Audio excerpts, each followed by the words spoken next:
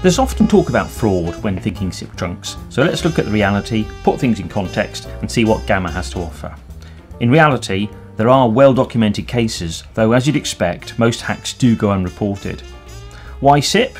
Well, basically, as it's all IP, an attack can come from anywhere in the world, places where the chances of being caught are slim, and the payoff is immediate by turning a PBX into, in effect, an ATM machine, even for just a few hours.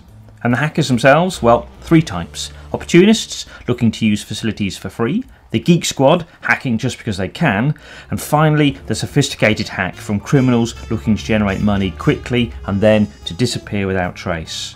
Often, the first time a user knows anything about it is when they get the bill. Now, the best practice is not just about technology, it's also about attitude. Look at the IT folks. They understand about hacking and have best practices in place. SIP should be treated no differently.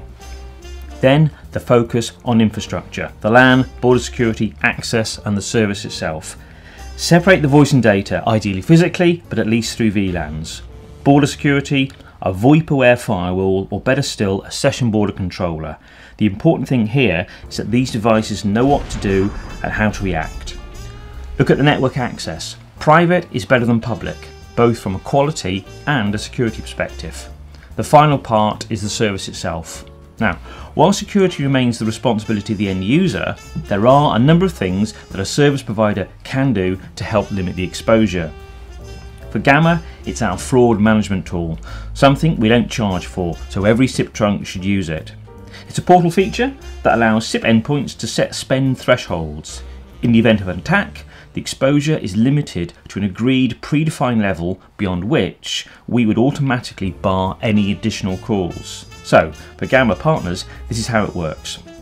Log onto the portal, select a particular SIP trunk via the order summary page, and then from the drop down menu under the Ops tab, select Fraud Management.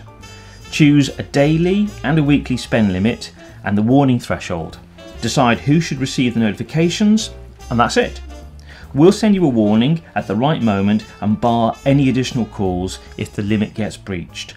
Automatically, 24 hours a day, 7 days a week. So, whilst VoIP fraud may be a reality, for Gamma customers at least, we've got you covered.